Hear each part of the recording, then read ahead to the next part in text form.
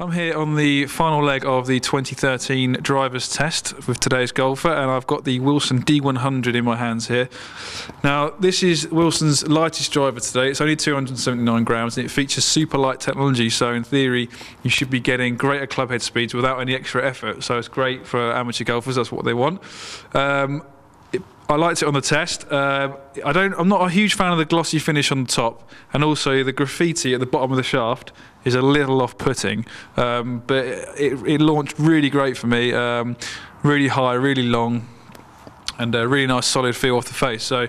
I think it's great. I think players of all levels will get on with this. This was a really consistent performer on test, and I think for those of you who can't afford 350 pounds on a driver, this this Wilson would be a great option for you.